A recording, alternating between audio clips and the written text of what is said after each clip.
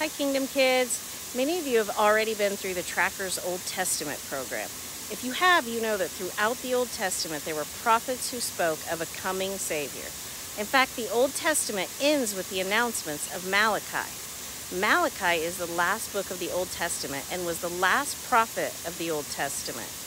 Malachi is in part an announcement of the coming Messiah. God sent many prophets to tell of the coming King and you may have studied many of them.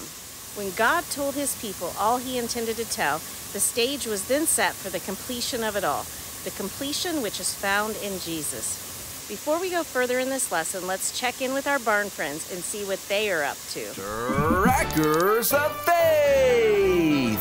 Featuring Duke and Luke, the Barn Brothers. Penny, the code cracking tech savvy gal who is quick on her feet.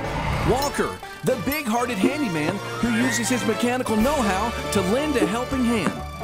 Jenny, the fun loving biblical brains of the operation. And Milton, this super sassy swine has been fitted with the latest in animal communication technology. Join this crew of high tech heroes as they sow truth, know truth, and grow truth. Trackers of Faith!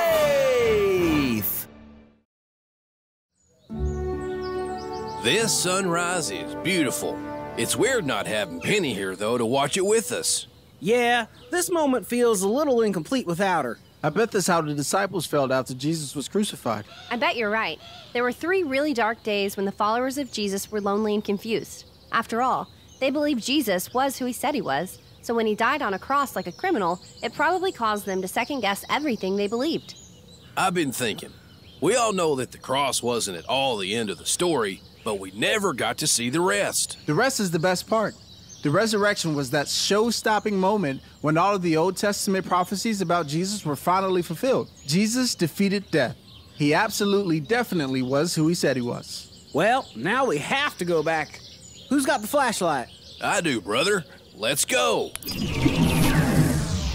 There's Mary Magdalene. Shh!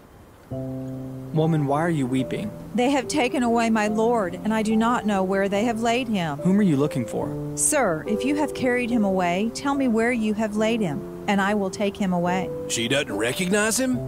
Why would she? She's definitely not expecting to see him alive. She thinks he's the gardener. Mary. Rabboni. Do not hold on to me, because I have not yet ascended to the Father. But go to my brothers and say to them, I am ascending to my Father and your Father, to my God and your God.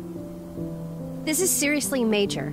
This makes Mary Magdalene, a woman, the first witness of the resurrection. That wasn't an accident. Jesus himself told her to testify to what she had seen and preach what was basically the first gospel message that not only had Jesus died, he had also been resurrected and would ascend into heaven. Penny would love to see this. It looks like Mary's leaving to tell the disciples what she's seen. I guess we better go back now. That was wild. From the first time I heard about Jesus' resurrection, I knew that I needed to give my life to following him. But seeing that event firsthand just makes me even more convinced. This means something important for us too, you know. What do you mean? I mean that Jesus' body was resurrected, right?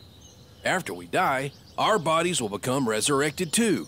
Our eternal life, which includes our minds, our souls, our spirits, and our bodies, will be redeemed all because Jesus was raised from the dead. As Christians, we'll live with God, the Father, Jesus, and the Holy Spirit forever. Amen and hallelujah. That's amazing. you got that right. So, who can tell me something they learned from the video? You may remember the story of God's people in Egypt. They had been slaves for many, many years, and God sent Moses to rescue them from slavery. The problem was that Pharaoh would not let the people go, so God sent many plagues to convince Pharaoh to release them. The last consequence was the death angel. It was a terrible time in Egypt when the death angel passed through and all the firstborn died. But God's people did not die because they had listened to God's instruction and had taken the blood of a perfect firstborn lamb whose bones were not broken and put it on the doorposts of their homes. When the death angel passed through, it passed over the homes that had the blood covering. That is why the yearly celebration is called Passover. The death angel passed over God's people, and as a result, they were released from slavery. This was a great event in the history of the Israelites. However, for Christians, we know this was a foreshadowing of what was to come when Jesus came to earth. In Exodus, we see how God freed his people from the physical slavery in Egypt. And when Jesus came to earth, he freed us from spiritual slavery. Have you ever thought about why it was a lamb that was sacrificed? Do you remember the story of Cain and Abel? Abel's sacrifice was pleasing to God, but Cain's was not. What did Abel sacrifice? Abel sacrificed a lamb. When Abraham was called to sacrifice his son, his only son, what sacrifice did God provide instead? It was a ram, which is a male grown lamb. The celebration of Passover was a reminder that a lamb was sacrificed in place of the oldest child to provide freedom to the Israelites. Jesus, of course, was born in Bethlehem, for he was to be the sacrificial Lamb of God to save us from our spiritual slavery. In the New Testament, we find that John the Baptist calls to Jesus, saying, Look, the Lamb of God, who takes away the sins of the world. In Revelation 5, we read of a lamb that was slain and was worthy to receive honor and praise. Who is this lamb? Jesus fulfilled what the Passover lamb represented and was the sacrifice in our place. So we know that Jesus entered Jerusalem on Palm Sunday.